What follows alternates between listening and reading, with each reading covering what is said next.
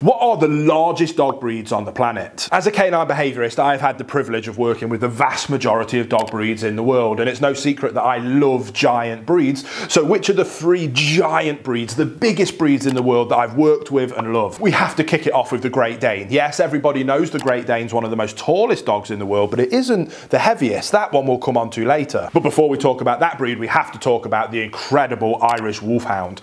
Fun to work with, rare, but when you do get the opportunity, to meet one, spend time with one, or work one, it's never an opportunity you should pass up. And let's talk about the heaviest dog breed in the planet, a breed that I personally own myself, the English Mastiff. Mine is only two years old and is already at a whopping 180 pounds.